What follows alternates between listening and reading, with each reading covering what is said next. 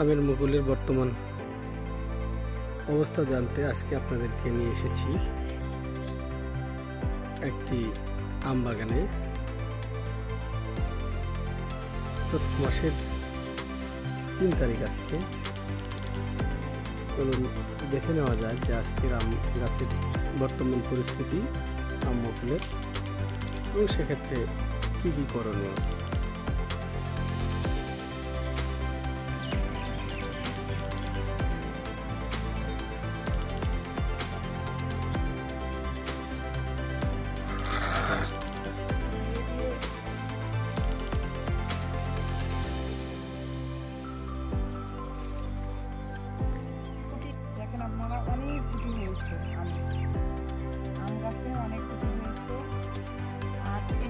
ডালটা রেখে লেগে যাবে এটা নেওয়া যাবে না এভাবে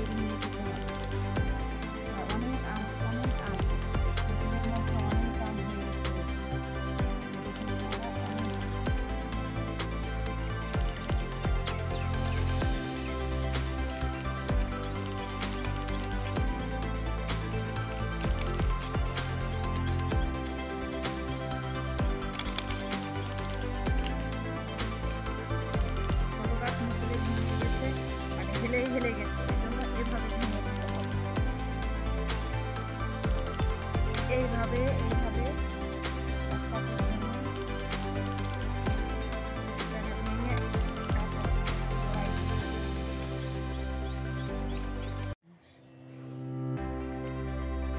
আমের গুটি দেখতে পাচ্ছেন আপনারা। বাড়ি ফোর আম এক একটি গোটায় তিরিশ থেকে পঁয়ত্রিশটি আম। দেখা যাচ্ছে। এতগুলো আম দরকার নেই, এই ছোটো গাছ।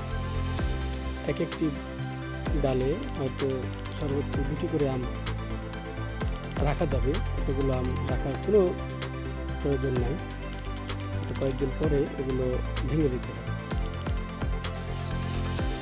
এই অবস্থায় কোনোভাবেই যেন আমের মুকুল শুকিয়ে না যায়। সেটি লক্ষ্য রাখতে হবে। মাছি যাতে নিয়মিত বাগানে আসতে পারে, পরাগায়ন ঘটে, সেটিও খেয়াল করতে হবে। পাশাপাশি আমাদেরকে এটিও লক্ষ্য রাখতে হবে যে অতিরিক্ত মুকুল থেকে যে আম হবে, সবগুলো আম কিন্তু রাখা সম্ভব হবে না। সেই বিষয়গুলো খেয়াল রাখতে হবে। ঘন বাগান পরিদর্শন করে এই বিষয়গুলো নিশ্চিত করতে হবে। এই দশ দিন শুধুমাত্র সামান্য পরিমাণ সালফার প্ল্যান্ট গ্রোথ রেগুলেটর এবং ছত্রাকনাশক ছাড়া এই গাছে অন্য কিছু প্রয়োগ করার কোনো প্রয়োজন নেই। যদিও আম গাছে গুটি বেঁধেছে, বেঁধে যাচ্ছে। আপনাদেরকে আজকে আমরা আপডেট দেখাচ্ছি। আমের গুটি বাঁধার পরে আবারও দেখাবো তারপরের অবস্থা কি। আমের মুকুলের এই বর্তমান অবস্থায় এত মুকুল ফুটেছে, এত আমের দরকার নেই, এত মুকুলের দরকার নেই, এই ধরনের কথাগুলো আমরা প্রায়শই শুনে থাকি। কিন্তু মনে রাখবেন যে গাছে যে পরিমাণ মুকুল এসেছে, গাছের গোড়ায় যদি পর্যাপ্ত খাবার না থাকে, তাহলে এই মুকুলগুলো থেকে কিন্তু আম আসবে না। আমের যদিও গুটি বাঁধে, গুটি ধরে যাবে, আবহাওয়া একটি ফ্যাক্টর সেগুলো মাথায় রাখতে হবে।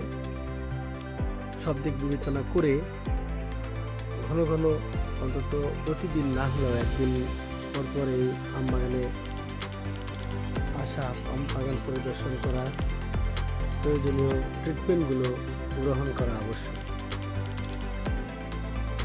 যেভাবে যত্ন নেওয়ার মধ্য দিয়ে আমের মুকুল এসেছে, এই মুকুলগুলোর যত্ন নিলে আমের গুটি আসবে গুটি বাধ্যে আম হবে এবং আম আপনাকে সমৃদ্ধির যে স্বপ্ন, সেই স্বপ্ন পূরণে সহায়তা করুন ধন্যবাদ জানাচ্ছি যারা এতক্ষণ ধৈর্য ধরে আমাদের আজকের এই ভিডিওটি দেখেছেন।